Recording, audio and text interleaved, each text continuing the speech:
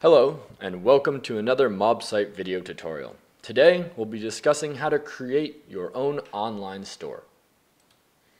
Are you ready to take your store to a whole new level with the power of e-commerce?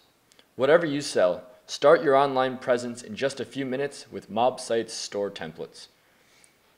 These templates make it easy to intuitively put your products on the web for everyone to browse from the comfort of their own homes. Let's start with our first template, Stored.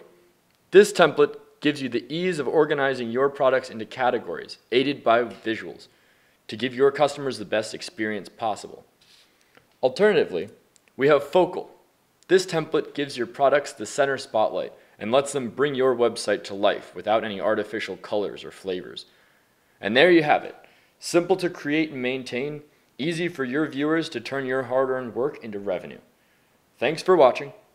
Check out mobsyte.com to create your own online store today. And comment below with any questions you may have.